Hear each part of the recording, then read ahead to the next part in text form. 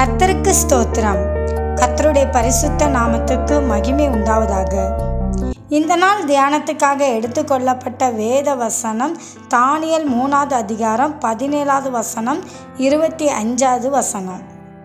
நாங்கள் ஆராதிக்கிற எங்கள் தேவன் எங்களை தப்பிவிக்க வல்லவராயிருக்கிறார்.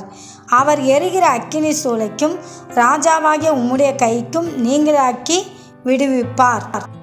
இதோ நாலு பேர் விடுதலையாகி அக்கினியின் நடுவிலே உலாவுகிறதை காண்கிறேன். அவர்களுக்கு ஒரு சேதமும் இல்லை. நாலாம் ஆளின் சாயல் தேவபுத்திரனுக்கு ஒப்பாய் இருக்கிறது என்றான். தேவ பிள்ளைகளே தானியல் சாத்ராப் ஆபேத்நேகு இவர்கள் மூன்று பேரும் கர்த்தருடைய பிள்ளைகள். க- திடீர்னு ஒரு நாள் ராஜா என்ன பண்ணாங்கன்னா பொற்சிலை உண்டாக்கி இதை எல்லா ஜனங்களும் வணங்கணும். வணங்காதவர்கள் எரிகிற அக்கினி சோலையில் போடுவேன்னு சொல்லி சொல்லியிருந்தார்கள். எல்லா ஜனங்களும் வணங்கினார்கள். ஆனால் இந்த மூன்று பேரும் தானியலும் சாத்ரா காபேத்னேகும் இவர்கள் மூன்று பேரும் கர்த்தருக்காக வைராக்கியம் கொண்டு சிலை வழிபாடு கூடாதுன்னு ஆண்டவர் சொல்லியிருக்கிறாருன்னு அதை வணங்காமல் கர்த்தருக்காக வைராக்கியமாக நின்றார்கள். உயிரே போனாலும் பரவாயில்லன்னு இவர்களுக்குள்ள ஒரு நம்பிக்கை காணப்பட்டது. நாங்கள் ஆராதிக்கிற தேவன் எங்களை தப்பிவிப்பார் என்று. ராஜா இவர்கள் வணங்காதனால எரிகிற அக்கினி சோலையில் போட்டார்கள்.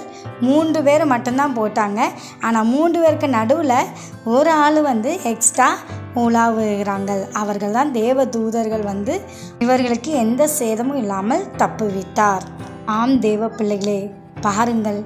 கர்த்தருக்காக எவ்வளோ ஒரு வைராக்கியமாக நின்றார்கள். நாங்கள் ஆராதிக்கிற தேவர் எங்களை தப்பி வைப்பார் என்றும் ஒரு விசுவாசம் அவர்களுக்குள்ளே காணப்பட்டது. இதே போல் நீங்கள் எல்லா காரியத்திலும் கர்த்தருக்கு பிரியமில்லாத நாங்கள் செய்ய மாட்டோம் அப்படின்னு ஒரு தீர்மானம் எடுங்கள் வைராக்கியம் கொள்ளுங்கள். இப்படியாக நீங்கள் கர்த்தருக்காக வைராக்கியமாக வாழும்போது கர்த்தர் உங்களையும் எல்லா சூழ்நிலைகளிலிருந்து பிரச்சனையிலிருந்து போராட்டங்களிலிருந்து கஷ்டங்களிலிருந்து எல்லாவற்றிலிருந்து உங்களை விடுவிப்பார் தப்பிவிப்பார் ஆமேன். தேவன் தாமே எங்களை ஆசிரியப்பாராக அமேன் காட் பிளஸ் யூ